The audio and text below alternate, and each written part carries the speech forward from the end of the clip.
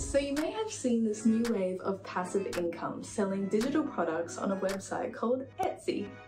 I work a full-time 9 to 5 job and I wondered how easy would it be to earn some passive income myself. Some of these Etsy videos on YouTube are blowing up, showing thousands of dollars made in their first 30 days or even tens of thousand dollars, which is crazy numbers. But how realistic are they? I wanted to try it for myself to see how easy it would be to set up these products, what the startup costs were, and how quickly it would be to get my first sale.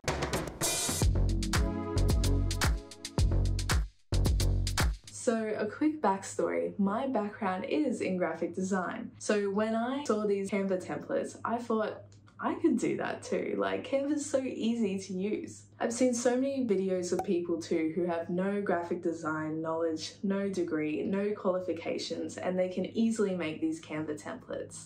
As long as they have an eye for what looks good, they can make these Canva templates too, and they're earning lots of money doing so. And for those who don't know what Canva is, Canva is a free design platform used to create social media graphics and presentations. It's got a super user-friendly interface, which means anyone can log in and start designing straight away with no experience. Funnily enough, us graphic designers don't like this platform because people believe it's stealing our jobs, but I think, hey, if you can't beat them, join them. And now there's a huge wave of people making templates that people can buy via Etsy. They get a link that sends them to Canva, and then on the Canva template, they can change out all their colors, their pictures, and use it for their own brand. For a customer's perspective, it's definitely cheaper and easier than hiring a graphic designer these days, so I can see why it's so popular and all these templates are popping off. How long does it take to make a digital product? This of course varies so much and was the hardest part. I had to decide what my shop's niche was going to be, who I was even going to sell to, what was I going to sell, where do I even start. So I looked at what I was passionate about and started there. I personally love the self-improvement niche, the self-care, the mindset coaching, the healthy lifestyle coaching. I thought maybe I could start there doing social media templates for these kinds of people or brands that are in that sort of niche. You, you may love beauty products and you may want to sell a social media bundle for people selling beauty products or makeup artist services. Or maybe you're really passionate about food and you want to create a menu template. Maybe you're amazing at budgeting your weekly paycheck and you want to create an Excel spreadsheet so that people can learn how to do that and manage their own money. There's so many ideas to choose from, and all it takes is exploring Etsy to see what's already popular. So I chose my niche and I decided to make a social media template. Now I just needed to figure out the content. This was very time consuming as I went through so many Instagram profiles looking at self help coaches and jotted down ideas of what I could do for my own. Stuff like, oh, they need a pricing tile, or they need a sales tile, or they need a, a membership pricing tile. Please do not plagiarize other people's work. Only look at it for inspiration and then use your own wording or put your own spin on it. Once I had enough content, I decided on a color scheme and fonts and made as many tiles as I could for my social media template. You can't take Canva's pre-existing templates and then sell them. It has to be your own design. Now, working a 9 to 5 job, balancing recreational time, time with family and friends, etc., it took me a long time to finish this template. I'm just being real with you, it took me over six months to finish this template. I was very slow, I procrastinated a lot,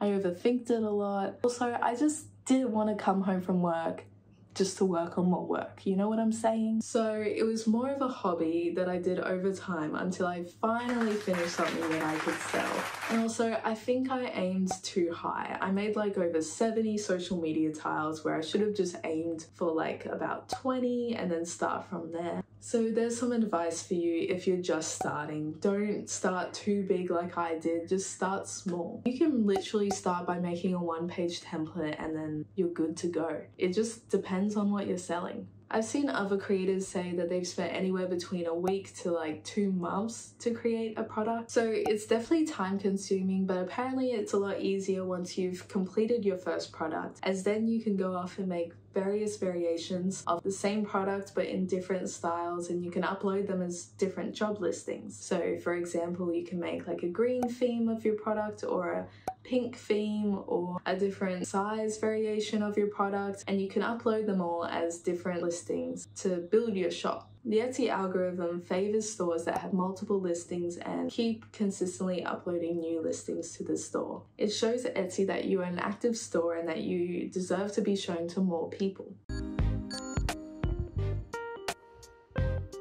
Alright, so the moment you've all been waiting for, here is my first 30 day Etsy results.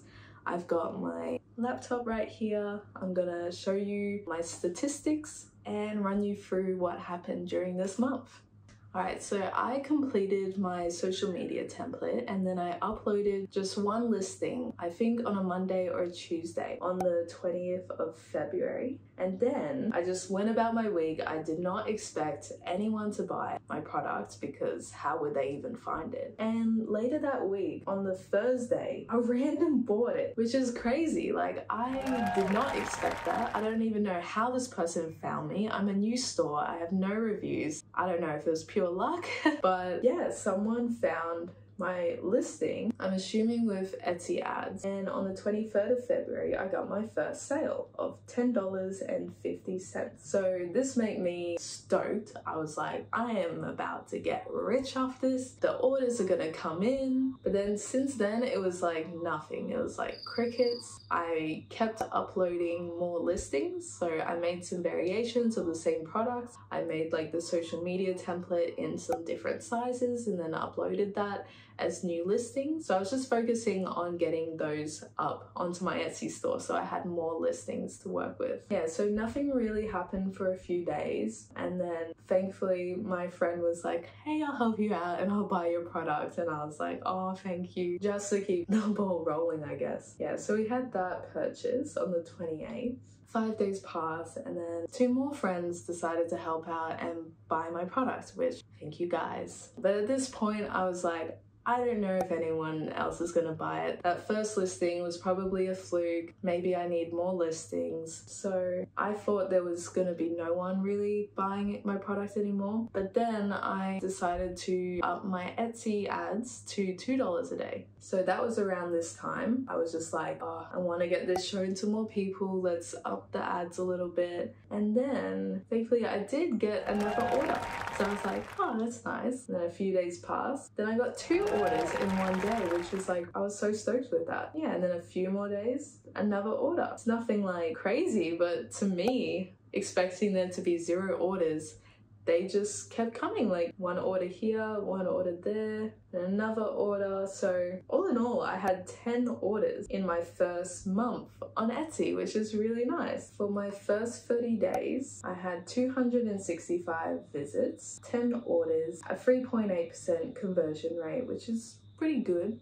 My revenue was $103.20 Australian dollars. Is it life changing money? Probably not, but still great to have an extra hundred dollars just sitting in my pocket for not really doing anything. Obviously, I spent a lot of time to make the product, but pretty good to get that passively. Yeah, that's a hundred dollars that can go towards the Etsy ads or a few coffees. Yeah, so I'm really stoked that I even got one sale. So to get 10 orders, I am super stoked. So that was from when I first started the store. The last 30 days from the time of filming this, I've got 13 orders total, 4.1% conversion rate, and $122.10. So I've been on a trip to Bali for the last two weeks. So towards the end of this month, I did not work on my Etsy store at all. I didn't do anything to improve it or add new listings or anything like that. So what was really cool was I was still receiving orders while I was off overseas and I didn't have to fulfill any inventory. I didn't have to take action or anything. All I had to do was just see money come in and that was really great. And in a place like Bali, a meal there can cost $2. So having these orders come in was awesome because it gave me a little bit extra cash that I could spend on a mee goreng or anything like that. Towards the end here, I ended up getting free orders a day, which is amazing. Like they're all from strangers. I do not know these people, which is amazing. The Etsy ads is obviously working. How the shoppers found me, Etsy bought 50% of visits. So the Etsy app and other Etsy pages bought most of them. Some people found them in the search direct and other traffic. No idea what this is because I don't share the link of my page to anyone unless this is my own self looking at my page, maybe, probably 28 times. Yeah, I'm not sure where the other traffic would be coming from at this stage. The reason why I can't share the link to my shop to you guys is because if I send it out to you guys and you come to the store and you don't buy anything, my conversion rate is going to go down so low and then my Etsy store is not going to do well or my Etsy is not going to show my store to others. But at least I can show you these statistics. I did a lot of research on the Etsy SEO as well, so hopefully those were good in people helping to find my product. Now, looking back on these statistics, I want to share with you how I think I can earn more and why $122 isn't actually that much and what I plan to do in the future.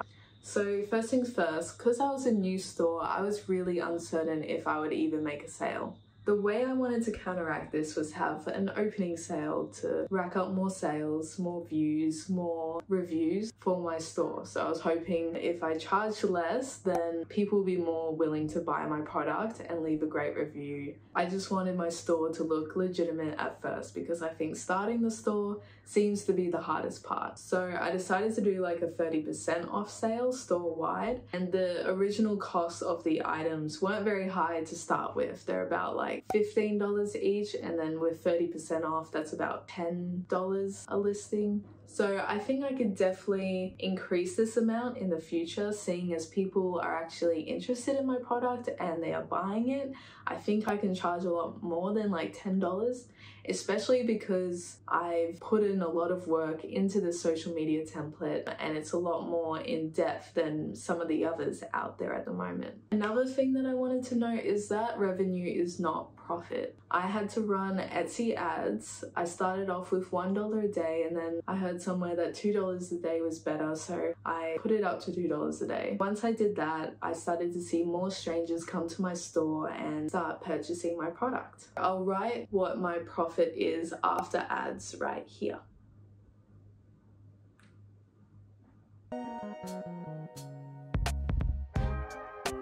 What other expenses come with running an Etsy store? For starters, I had to buy Canva Pro in order to be able to share a template link to other people so people can use it as a template rather than just access my design. I also spent money on an Adobe Creative Suite. I use this for my personal design work anyway, but I did need to use the Photoshop to create the little Etsy listing photos. Do not need an Adobe Creative Suite to run an Etsy store or create these listings. You can literally use Canva to create the little Etsy listing photos. So don't think that you have to buy that because it's not a necessary expense. It's just what I'm used to and it helps me create really nice designs. So using these subscriptions brings my net profit down to this and this is not including maybe like internet costs but as my store gets bigger and I start earning more money, I think that's a great startup cost for a business. There's no inventory, there's no delivery fees. You just need an internet connection, a computer, and a few programs, and then you're ready to go.